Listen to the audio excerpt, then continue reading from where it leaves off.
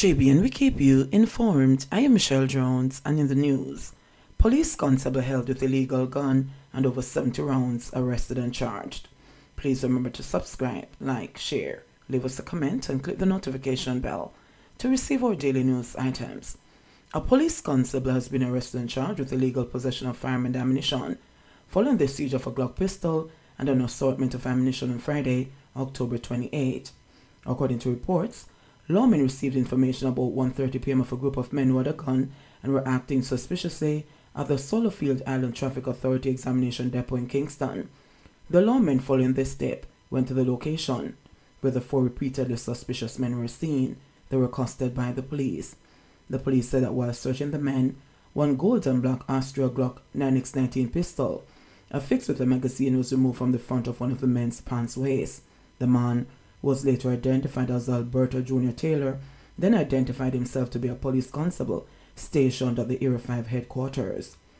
Taylor was then escorted to the Jamaica Constabulary Force Specialized Operations Branch, where the gun was reportedly examined and found to contain a magazine with 15 rounds of ammunition and one in the chamber.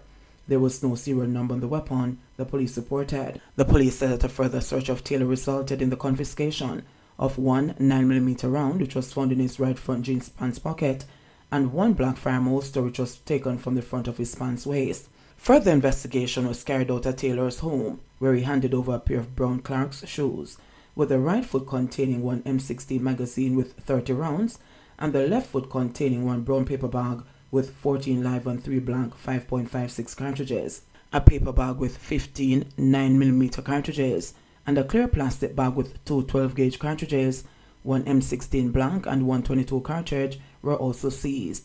The police reported that a number of other items, which include a firearm holster, baton, and carry on, were also taken for safekeeping pending the outcome of an investigation. JBN, we keep you informed. Please remember to subscribe, like, share, leave us a comment, and click the notification bell to receive our daily news items.